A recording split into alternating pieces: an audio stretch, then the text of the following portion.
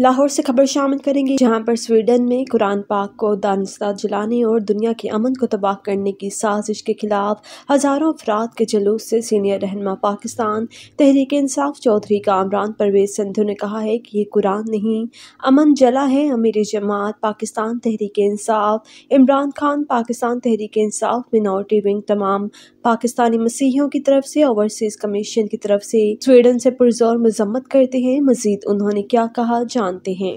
जी, मेरे प्यारे भाइयों, आज हम सब यहाँ कुरान पाक की जो बेहरमती की गई है, उसके लिए सब इकट्ठे हुए हैं।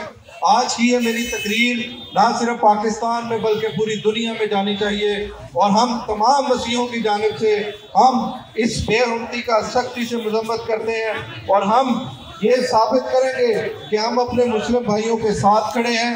मेरी जमात पीटीआई की जानब से, इमरान खान की जानब से और मिनॉरिटी विंग की जानब से, ओवरसीज कमीशन की जानब से हम इसकी पुरजोर मदम्मत करते हैं। और दोबारा ऐसा वाक़ कभी ना हो, हम इसके लिए कहते हैं।